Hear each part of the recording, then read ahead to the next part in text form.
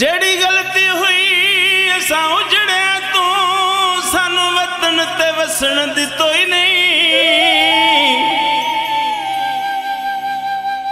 ਬੰਦੇ ਵੇਂਦਨ ਪਿਛਲੀਆਂ ਨਿਬੀਆਂ ਨੂੰ।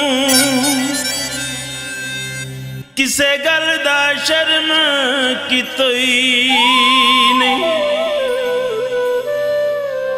ਜਿਵੇਂ ਤਾਂ ਕੀਤੀ, ਅਸਾਂ ਉਜੜਿਆ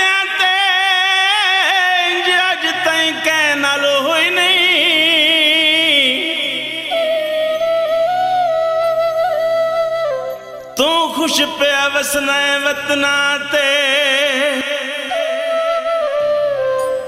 ਕੀਤੀ ਈਦ ਲਿਆਕਤ ਕੋਈ ਨਹੀਂ।